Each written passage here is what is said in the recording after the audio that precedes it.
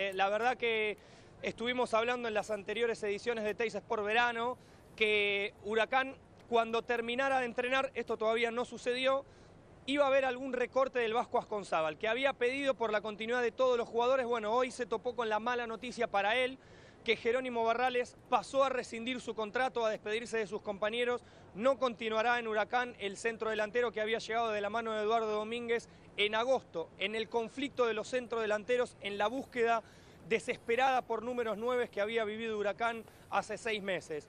Eh, el jugador ha abandonado el club y tengo entendido que continuará su carrera en el exterior. Todavía no está definido bien el club, pero lo hizo porque ya tiene algo, algo concreto y en las próximas horas seguramente lo sabremos. Igualmente se esperaba mucho más de él, digo, desde, lo futbolístico en, Huracán y también es cierto que jugó relativamente poco, ¿no? Nueve partidos, pero con apariciones eh, muchas eh, que no fueron desde el inicio.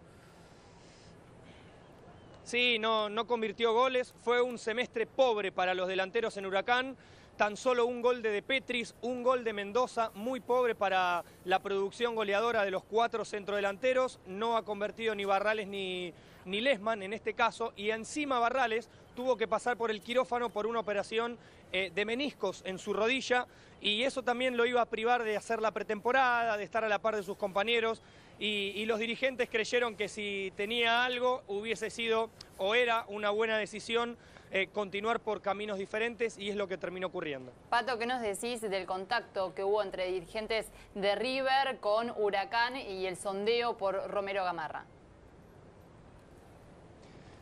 Que fue concreto, Ceci, que hubo un llamado para preguntar condiciones por una de las joyitas que tiene Huracán, ¿Está bien si digo que es uno de los preferidos del fútbol argentino del señor Agustín Fantasía? Sí, sí, claro, Pato, ya lo sabés. Bueno, eh, en su momento eh, lo, hemos dicho ya desde hace tiempo, eh, con, vos en realidad lo hemos dicho, y evidentemente puede ser una baja importante, ¿no? Para, para Huracán, sobre todo por lo que ha demostrado en el último tiempo.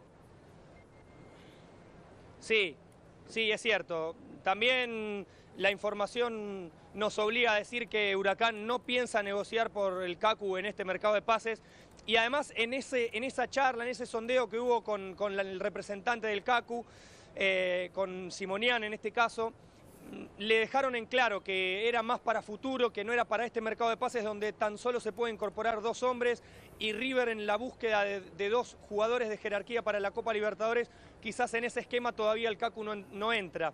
Pero, pero sí hubo algunas preguntas acerca de su contrato, de, del término eh, de, su vínculo con Huracán y quedaron en hablar.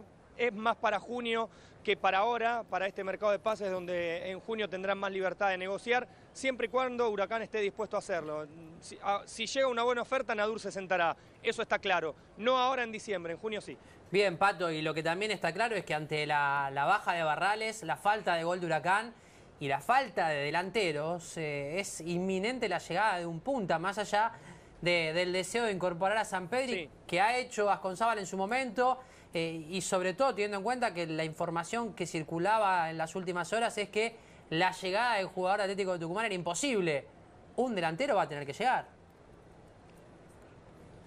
Sí, la realidad es que el Vasco Asconzábal siguió insistiendo con San Pedri, lo conoce, sabe que la adaptación es mucho más fácil, que se ahorra tiempo eh, en lo que él pretende en cuanto a lo táctico, a lo futbolístico, pero los dirigentes fueron claros y le dijeron no podemos hacer ese desembolso de dinero por San Pedri, por un jugador que, nos han pedido un poco más de un millón de dólares.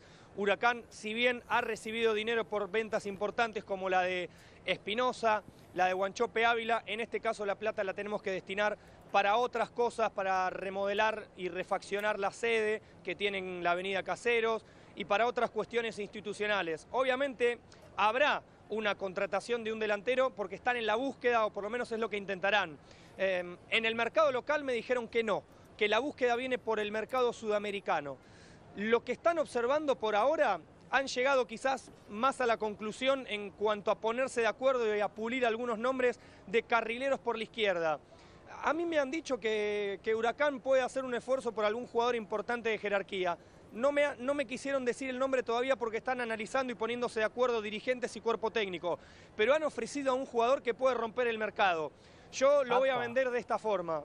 Quizás, quizás mañana tenga la confirmación para decirlo al aire. eh, pero a mí me han dicho que Huracán puede llegar a romper el mercado en, en un carrilero por la izquierda.